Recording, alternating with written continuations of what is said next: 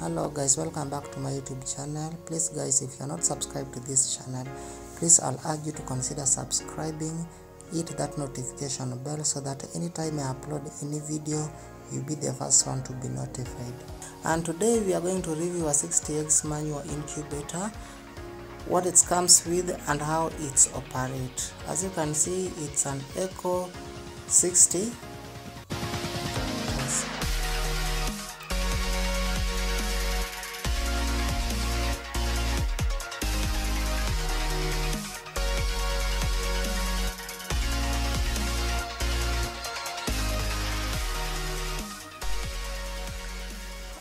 okay.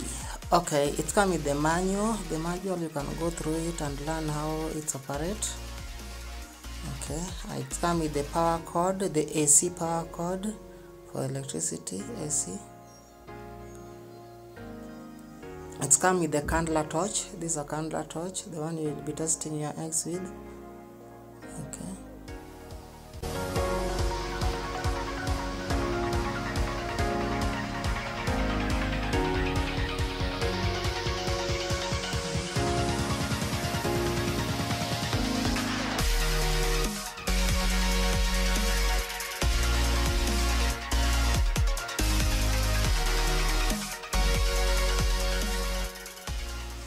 okay this is the top part of the incubator. It's the one having the heater the fan and the controller as you can see.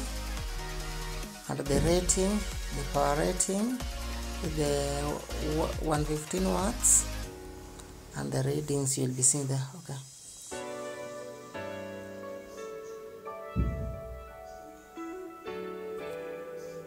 and this is the base. This is the base. This is the place where you will be putting your water. This is the base.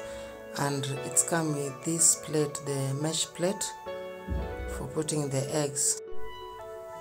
Okay the incubator have some holes down here for adding water. And you'll be using something like this like this one here this bottle here to add water to top up the water. Uh, the water is supposed you are supposed to top up water after two to three days.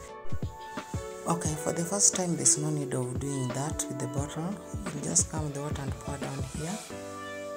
Just come with the water and pour down here and put this mesh plate for hatching. And then this is the top of the incubator which it has the sensor for detecting the temperature. It has the turbo fan as you can see. It has the coil for heating the incubator yeah so it has the LCD for displaying it has the breather here. It has the two the two breathers. So you close it. Then you power it on just like that. So the LCD will display the temperature. Let me bring the camera so that you can see it okay this is how it starts. It starts with a low temperature because the coil have just started heating. So it will start with this lower temperature and rises up up to the right temperature which is 38.0 it will continue blinking until it attains the right temperature.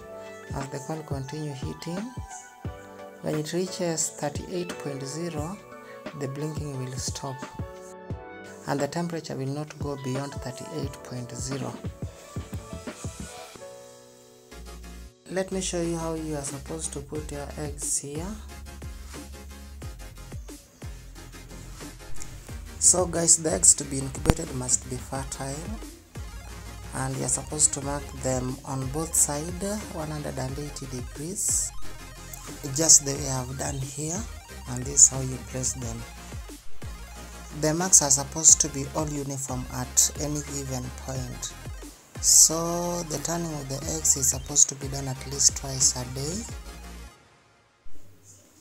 The marks on the eggs will assist you to identify the one you have not turned. And the turning should go on for 18 days. The first 18 days the last three days you are not supposed to do any turning because they are almost touching that is for chicken. So while hatching while hatching any eggs you are supposed to know the number of days the eggs usually take to hatch. The last three days of any eggs incubation period no turning is required. You are supposed to leave them alone because they are almost hatching.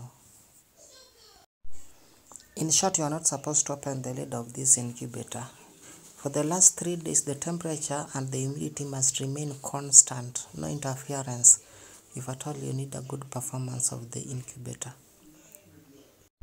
Okay guys, if you like my video, please give me that thumbs up and please do not forget to subscribe to this channel. Stay safe, have a nice time.